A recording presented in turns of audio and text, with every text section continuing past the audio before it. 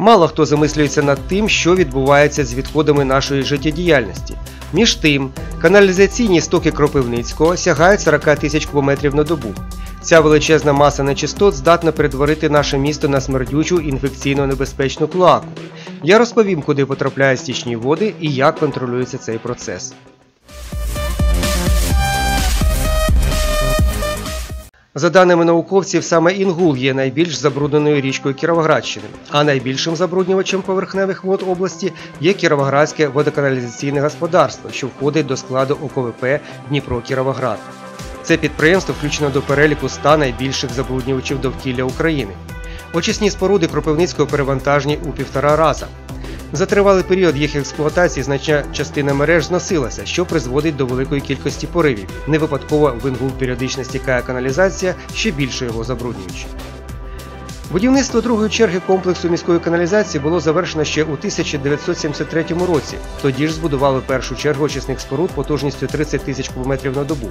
Кінці 80-х років частково збудували другу чергу очисних споруд, а на початку 90-х розпочали будівництво третьої черги очисного комплексу, яке за браком коштів припинили. Очищення каналізації проходить так. З двох колекторів, розташованих на правому та лівому берегах Інгула, стоки потрапляють на головну насосну станцію, де відбувається їх первинна обробка та перекачування на очисні споруди міста, які знаходяться поряд з міським світєзвалищем. Там стоки піддають механічній та біологічній очистці. Біологічна очистка це переробка фекальних мас мікроорганізмами, що живуть в мулі. Бактерії переробляють каналізацію спеціальних насичених киснем аеротенках. Потім стоки направляють на вторинні відстійники, розташовані за первозванникою, а далі перекачують на біоставки поблизу села Клинці, де відбувається доочищення. Остаточна стадія скид в інгул. Оскільки третю чергу очисних споруд зі станцією хлорування так і не добудували, стоки з біоставків потрапляють в інгул без знезараження від небезпечних бактерій.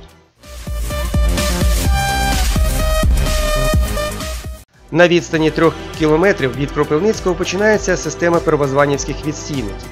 Ці рукотворні ставки, розташовані уздовж русла Інгула, мають протяжність 1,5 кілометра. Оскільки дно та стінки відстійників бетонували аж 70 років тому, то через тріщини каналізація проникає у ґрунтові води, а в кількох десятках метрів від відстійників тече річка Інгул. Селяни випасають у цій місцевості багато худоби. Зрозуміло, що тамтешня худоба заражена багатьма інфекційними хворобами та глистами. Джерела інфекції прибережна трава та комарі, які в безмежній кількості плодяться на відстійниках. Отож не раджу купувати молоко і м'ясо з первозванівки. Здавалося б, у місті скидання очищеної каналізації фахівці мусять регулярно проводити заміри якості води, однак їх не проводять. В районі ж первозванівських відстійників такі заміри взагалі ніколи не проводили, адже там немає спостережних свердловин. Слід сказати, що подібне ставлення до контролю за нечистотами відбувається в усіх великих містах, що стоять на Дніпрі. А ми з вами п'ємо Дніпровську воду.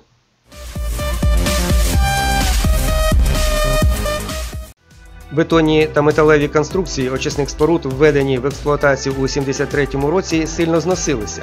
Каркас багатьох з них мало не розвалюється, тож їх необхідно оновити. Модернізація каналізаційного комплексу була вкрай потрібна, бо якщо обладнання не міняти, може статися екологічна катастрофа. Іншими словами, усе, що з'їли та випили городяни, спочатку занапастить Кропивницький, потім по інгулу потрапить у сусідню Миколаївську область, а далі у Чорне море. Тому на початку нинішнього року ОКВП Дніпро Кіровоград отримало дозвіл на початок робіт з реконструкції очисних споруд за кредитні кошти Світового банку, тобто за 8 мільйонів доларів. Завершити першу чергу будівництво планують восени цього року, а другу в кінці наступного. Спочатку реконструюють первинні відстійники. Один з відстійників переобладнають дефосфатор, на якому відбувається початкова стадія очищення стоків від фосфатів. Також оновлять аеротенки. Будують і нове приміщення для трансформаторної підстанції, модернізують повітродувку, мулову насосну станцію та реагентне господарство для остаточного уловлення фосфатів. Прикрий бік модернізації підвищення тарифів на водопостачання та водовідведення. Комунальні проблеми шляхом підвищення тарифів завжди лягають на плечі населення. Аби цього не сталося, місцева влада повинна контролювати обґрунтованість кожної копійки, пропоновано водопостачальниками тарифу, бо в Кропивницькому і так найдорожча в Україні вода. На цьому все. Підписуйтесь на мій канал, щоб дізнатися про багато цікавого.